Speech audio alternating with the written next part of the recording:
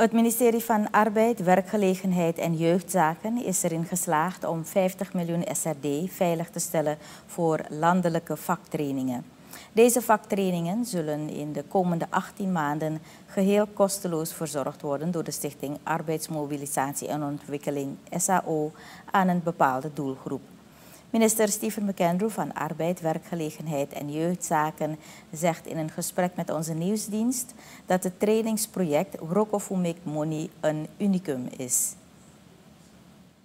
Omdat je in principe voor het eerst in de geschiedenis van Suriname gaat er op zo'n schaal, landelijk namelijk, um, vaktrainingen worden aangeboden, geheel kosteloos. Het enige wat de cursisten moeten doen is tijd en moeite in, zelf, in zichzelf investeren, zodat ze die cursussen tot een goed einde kunnen brengen. De cursussen zijn meestal tussen de twee maanden tot vier maanden, sommige misschien ietsje langer, maar uh, de tijd vliegt, zeg men. Dus uh, nogmaals, het gaat gewoon om wat tijd en moeite in jezelf te investeren, zodat je toch wat uh, betere perspectieven hebt op de arbeidsmarkt. Want met een vaktraining kan je gaan werken voor iemand, maar je kan ook als zelfstandige aan de slag.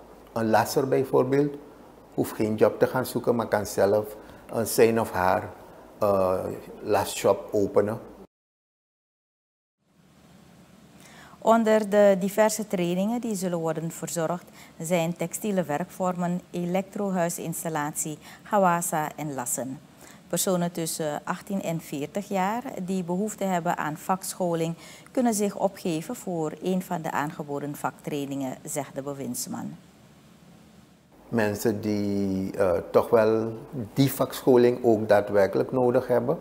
Dat denk ik aan mensen die drop-outs waren, um, mensen met een uh, beperking, uh, vrouwen die thuis zitten maar toch iets willen doen om uh, toch wel betere uh, perspectieven te hebben om de arbeidsmarkt te kunnen betreden. Noem maar op. Dus um, de trainingen zijn open voor mensen in die leeftijdsgroep, ongeacht. Dus het gaat nu erom dat ze zich moeten aanmelden als er in hun district of wijk een training zal worden verzorgd. En dan kunnen ze volop kosteloos participeren. Het ministerie is reeds in Coroni gestart met het project Roko Money. Het volledige gesprek met minister Steven McAndrew van Arbeid, Werkgelegenheid en Jeugdzaken ziet u op woensdag 25 oktober om 5 uur middags in ons programma In Gesprek met via kanaal 12.1.